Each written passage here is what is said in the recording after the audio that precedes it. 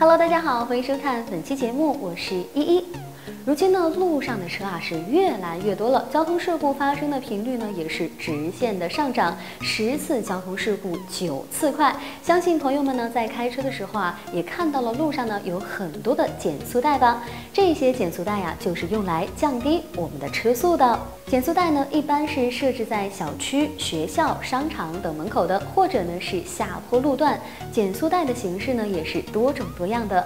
在高速路上呢，减速带高出路面的高度度啊是可以忽略不计的。主要的目的呢也是在提醒驾驶者减速的。在城市路段呢，减速带就来真的了，高出路面不少。如果不减速的话呢，就通过减速带将会对车辆造成非常大的损害。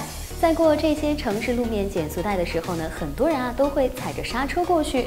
其实呢，这样的做法也是不全对的，因为呢，踩刹车时车头会下压，前悬挂会受力。此时呢，如果再过减速带，就是力上加力了。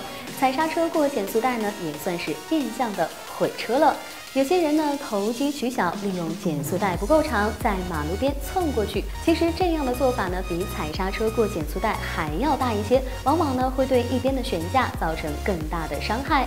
还有些人呢，天不怕地不怕，减速带是什么？不存在的，这一辈子啊都不可能减速，可能呢是家里有矿吧。无论是踩刹车还是横冲直撞过减速带，其实啊都是不可取的。